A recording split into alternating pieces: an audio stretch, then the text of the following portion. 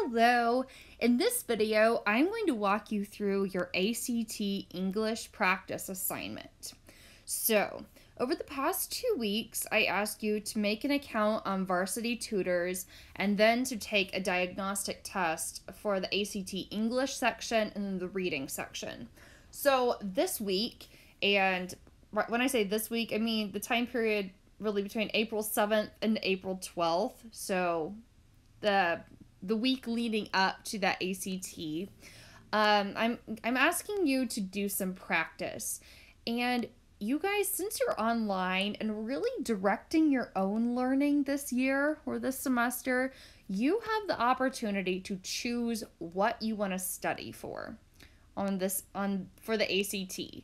So instead of, you know, telling you that you have to review comma rules, you know what? If you aced punctuation errors, don't study that.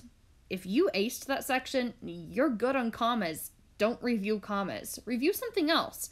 So the example might be let's say you missed a lot of questions on the agreement errors subcategory, errors subcategory.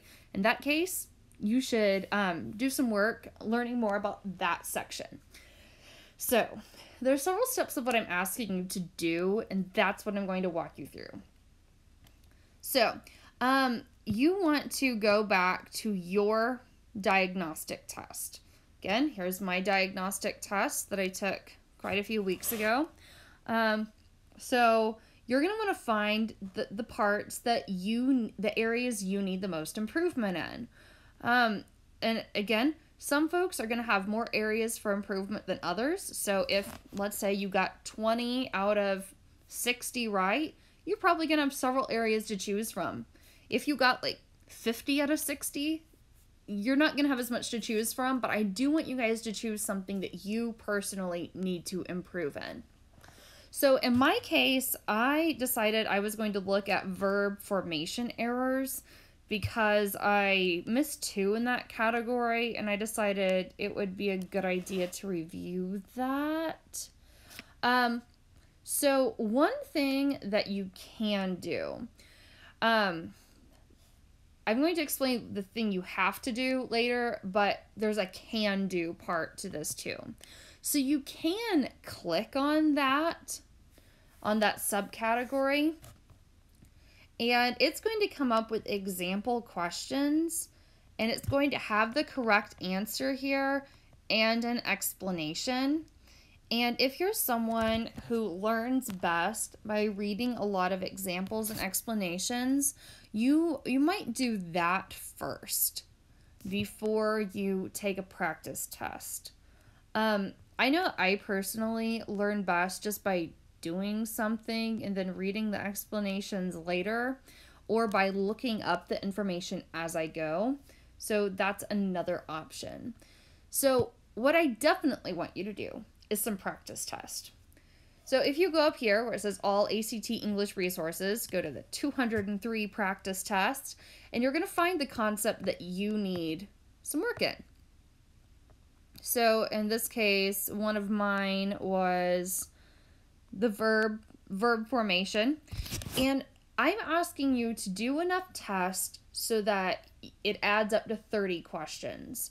So I might just want to do verb tense errors practice test for 40 questions. Just do the whole thing.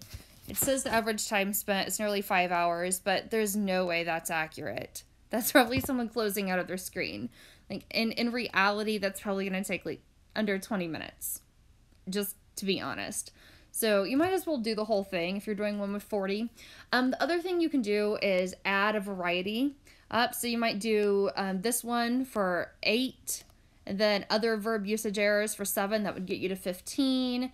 And then let's say you needed to work on revising, writing and revising effectively. So you might do another one for 8. That would get you to 23. And then you might do 25, 27, 29 and then maybe a six question test or maybe there's like one they're test with one question so you could do those. The thing is for each of the tests you do i'm asking you to do two things.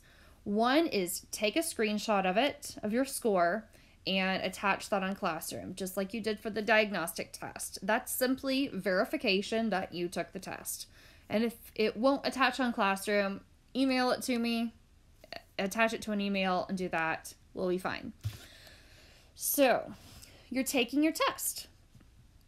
Um, then, um, there is an attached worksheet on Classroom. So I want you to record the names of the tests that you take and the number of questions. That's just that's just to keep track of them. I want it all centralized in one place. So for mine, I took inserting and removing content. So um, that's I took a very short one just just for an example. And removing content. It was two questions and I got two of them right. Um, so then you would list all the others that you take. You, if you're taking a large, for a bunch of tests, you're probably going to need to add a row.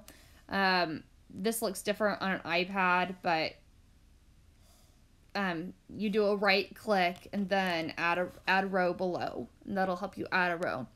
So then the second part of this is that I'm asking you to actually not just take the test, you know, go through the motions doing random answers, not that you guys would do that. You guys wouldn't do that. Um, but I want you to list things that you learned. I'm asking you just to choose five things that you learn in all this studying, or five things that you understand better. So, the ways, there are several ways you can go about doing that. One way is that you can look at the the the questions and the explanations. So let's say I kind of guessed maybe a little bit in number two. Um, this works best if you read the explanations for things that you missed. But if you got something right and you know that you guessed on that one, look at the explanation. So um, the concept here is inserting content. Let's see. So I might want to read through this. The last two sentences of the second paragraph give us a sense of Paul's internal state.